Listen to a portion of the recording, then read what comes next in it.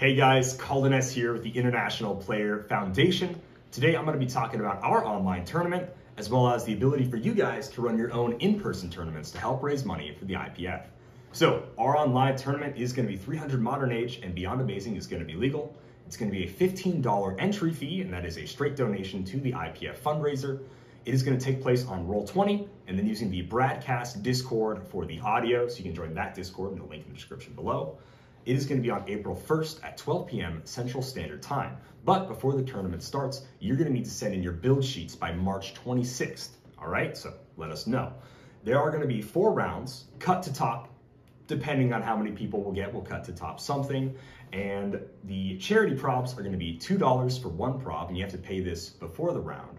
Or you can do $5 for three props, again, before the round for that game. There aren't going to be any charity props allowed in Top Cut. Sorry, guys.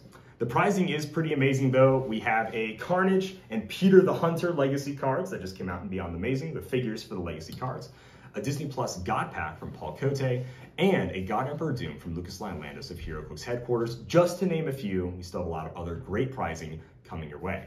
Now, if you want to host your own in-person IPF tournament, you can do so. Simply get in contact with us over here at Dial H for HeroClix using our email, dialhforheroclix at gmail.com.